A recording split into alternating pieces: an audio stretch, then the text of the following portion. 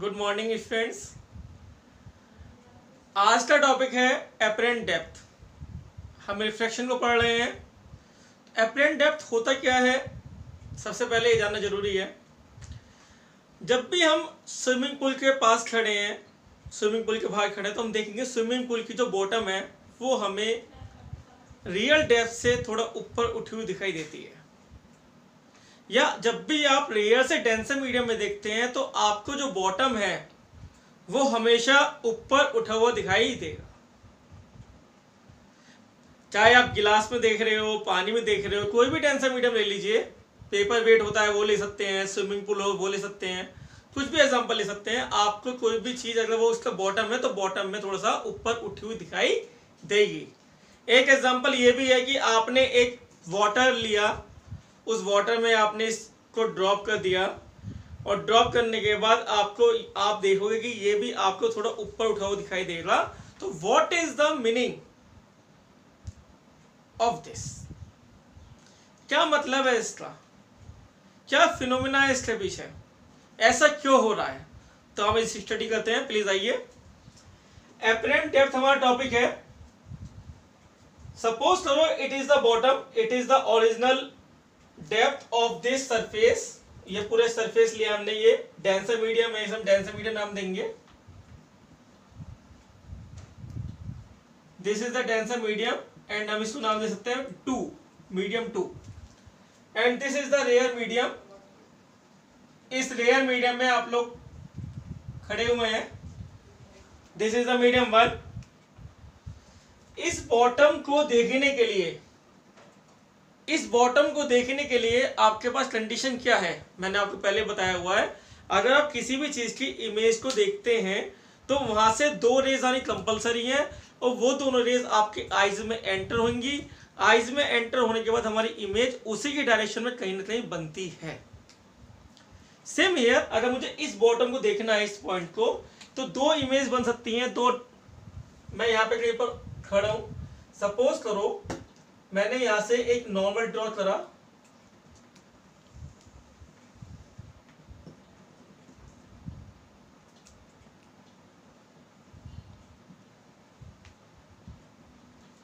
इस बॉटम से एक नॉर्मल गया। डेंसर से रेयर मीडियम जा रहा है। यहाँ डेंसर है मीडियम ये रेयर मीडियम है। ये इंसिडेंट लाइन है और ये रिफ्लेक्टेड लाइन है यहाँ से। हम देखें जब हम किसी रेयर से डेंसर मीडियम में डेंसर से रेयर मीडियम में डालते हैं नॉर्मली तो वो 90 डिग्री पर जाता है। ऐसा ये पॉसिबल क्यों है? यहाँ पर रिफ्लेक्टिव इंडेक्स नहीं होगा? तो आंसर है म्यू स्नेल्स लो यूज़ हो सकता है। Mu equal to sine I upon sine R होता है। तो साइन आर कितना हो गया बेटा? साइन आर हो गया। Sine I upon sine mu जब साइन अपॉन म्यू हो गया आपका ये हम देखेंगे साइन आई की वैल्यू कितनी है? नॉर्मल से ज़ीरो डिग्री है। तो sine zero equal upon mu equal to sine R sine R कितना हो गया? ज़ीरो और आर में इसकी वैल्यू ज़ीरो डिग्री तो इंसिडेंट रे और नॉर्मल रे दोनों ज़ीरो डिग्री पर जाएँगे तो बिल्कुल नॉर्मल चले भाई। नॉर्मल पे ज़ीरो डिग्री हो गया। अब ये तो केवल समझाने के लिए था आपको, इसमें कुछ नहीं है ऐसा। इसके बाद मैंने एक लाइन को और ड्रॉ करा और उस लाइन को मैंने यहाँ पर ड्रॉ करा।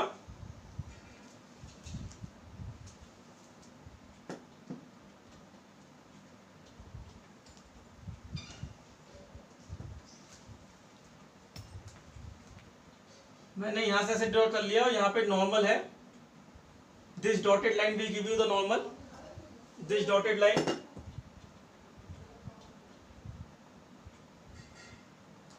it is giving you the normal.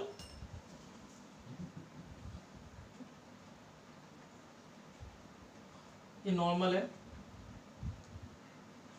जब यहाँ से इंसिडेंट रही और आप जानते हैं जब डेंसर से रेयर मीडियम में कोई भी लाइट जाती है तो वो हमेशा जब भी कोई लाइट डेंसर से रेयर मीडियम जाती है।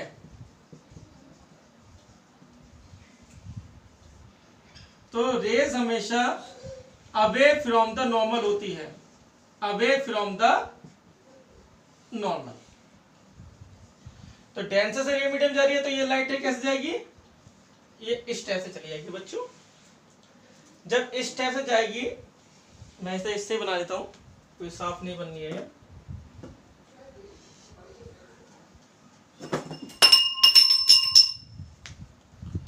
इस टाइप से चले गई। जानी चाहिए थी ऐसे ऐसे जानी चाहिए। लेकिन ये to away from the normal bend हो गई। और आप यहाँ कहीं ना कहीं यहाँ पर आप खड़े हुए हैं। ये आपकी आईज है। और ये आपका रेटिना पूरा बन जाना है यहाँ पे। और इस टाइप से आपके दोनों पॉइंट पर आँखों पर ये लाइंस ड्रॉ हो जाती हैं।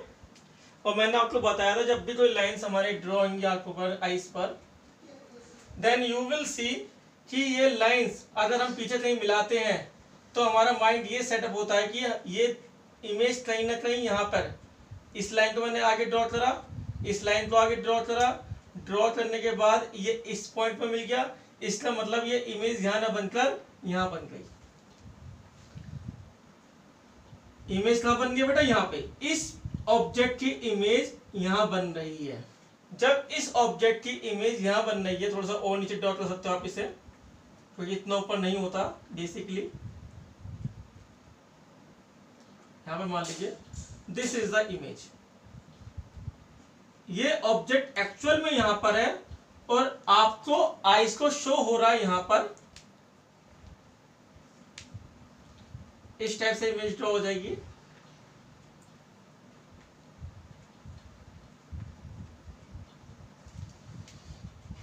This is the actual depth of this.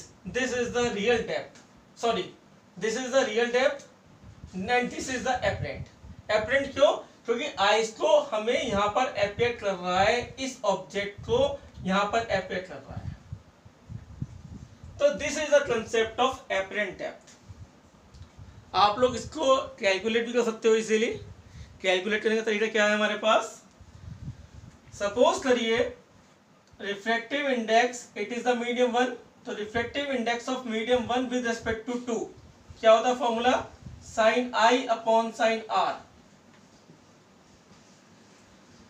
यहाँ से यहाँ पर जा रहा है तो हम रिफ्लेक्टिव इंडेक्स मीडियम वन का लेंगे विद रेस्पेक्ट टू टू और sine I upon sine R यहाँ पे कहीं पर नॉर्मल से ये 90 डिग्री बनाया एंगल ऑफ़ इंसिडेंस बनाया है इनने नॉर्मल से। और ये जो है आपका ये रिफ्लेक्शन एंगल आर हो जाएगा।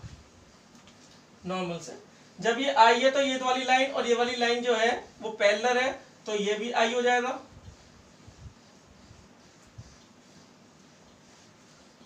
और अगर ये आर है तो इस मीडियम पर ये आर है तो ये भी आर हो जाएगा बेटा।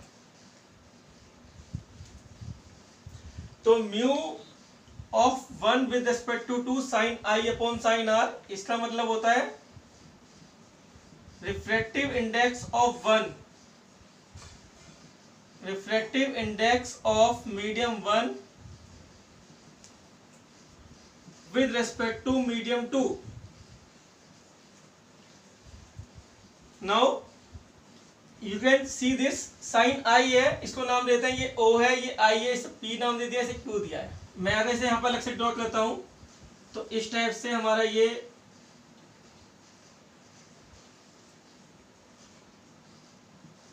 ये एंगल ऑफ़ इंसिडेंस है, ये आर है, और यहाँ पे कहीं पर ये बन रहा है, ये भी आर है, ये पी पॉइंट है, ये क्यू पॉइंट है, ये ओ है, ये आई है। तो बच्चों दिस इज़ ऑल्सो आई क्योंकि ये वाली लाइन वाली पैलर है, ये ट्रांसफर्स लाइन हो गया, ये आई हो गया सेम ये ये आर हो गया हमारा। जब ये आर हो गया तो you will see sine I. Sine I कितना है? साइन आई हो गया परपेंडिकुलर अपॉन हाइपोटेनियस तो साइन आई हो गया two of one O perpendicular हमारे पास पी क्यू और हाइपोटेनियस है ओ क्यू सेम है साइन आर साइन आर कितना हो गया? P Q upon Q I P Q से पी क्यू कैंसिल आउट हो गया। Reflective index of one with respect to two कितना आ गया? Q I upon O Q अब अगर मैं इस लाइन को यहाँ ड्रॉ करके यहाँ पे करूँगा, तब भी ट्रू होगा ये। अगर मैं इसको यहाँ ड्रॉ करूँगा, तब भी ट्रू होगा। अगर यहाँ ड्रॉ करूँगा, तब भी ट्रू होगा। क्योंकि ये नॉर्मल से थोड़ा सा एंगल पे बन रहा है। जब ये लाइन थोड़ी सी ड्रॉ हो जाएगी इस साइड तो यहाँ पर लू चाहे मैं चाहे मैं यहाँ लू क्यू चाहे चाहे यहाँ लू, चाहे यहाँ पे लू। इस वाली लाइन को मैं यहाँ पे ले सकता हूँ कहीं पर भी। तो मुझे ये दिखाई दे रहा है Q and P R near points and will give this condition इसी कंडीशन को दे रहे हैं अभी। तो मैंने क्यू आई को पी आई लिख दिया और क्यू ओ को पी ओ लिख दिया। Then effective index of one with respect to two हो गया मेरे पास P I upon P O. This is the reflective index of medium one अगर मुझे रिफेक्टिव इंडेक्स मीडियम टू का निकालना है। तो reflective index of medium two with respect to one इसको रिवर्ट कर दीजिए।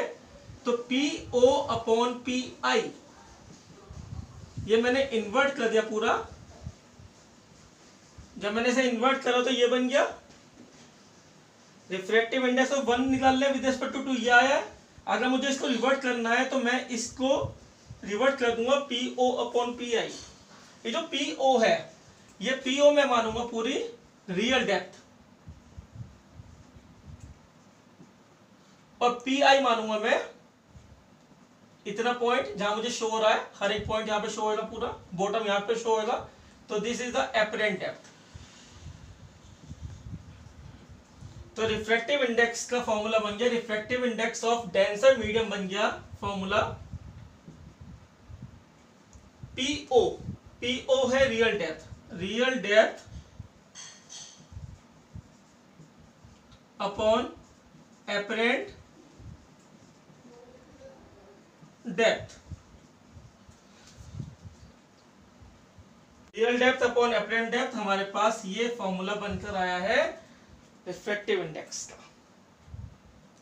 ये वाला फॉर्मूला है इससे आप अगर आपको रिफ्लेक्टिव इंडेक्स दिया हुआ है मीडियम का रियल डेप्थ पूछिए तो एपरेंट डेप्थ फाइंड कर सकते हो।